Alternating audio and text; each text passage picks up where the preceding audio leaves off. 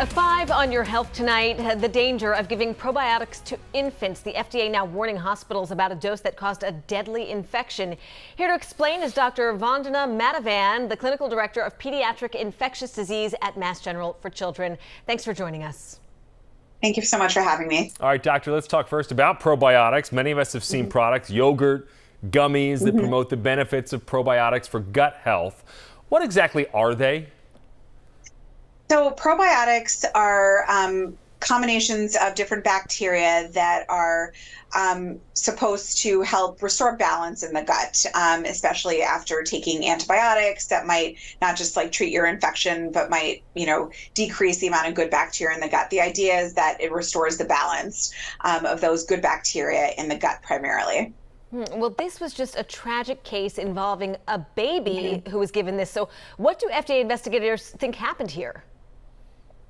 Um, so it's important to know that probiotic supplements, um, a lot of which are, you know, um, advertised as natural and helpful for children and even infants are not regulate, regulated by the FDA. So there's no way of knowing exactly what's what's in them.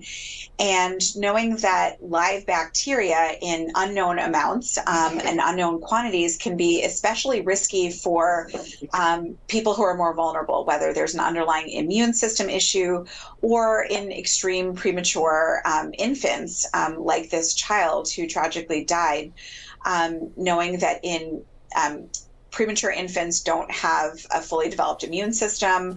Um, their barriers between the gut and the blood, between the blood and the brain, all of that are are more leaky. They're um, they're less robust than in an older child, and so live bacteria given to a, a, a premature neonate um, could you know could cause more serious disease. It doesn't necessarily stay in the gut.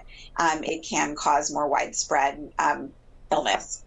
All right, so if parents are interested, though, in giving mm -hmm. probiotics to their kids, what do you recommend? Are they safe? Should they not do it? Is there an age at what point they become safe? What should we know about them? I think, again, just want to reiterate that these are not regulated medications. These are all supplements, and a lot of them are just the, the natural state of these is, is what's emphasized. And something being natural doesn't mean that they're safe. And so, for anyone wanting to um, start a probiotic for their child or any other vitamin or supplement that's not a prescribed medication, I think it's always important to discuss that with your child's pediatrician um, to discuss is this one safe? It, could there be interactions with something else? Maybe some a supplement is safe in isolation, but it's not safe when given with something else um, that your child is taking. So it's really important to have a discussion with your medical team um, before starting any un, um, non-prescribed over-the-counter medication. Understood. Dr. Madhavan, thanks so much for joining us. Thank you so much for having me. Take All care. Right.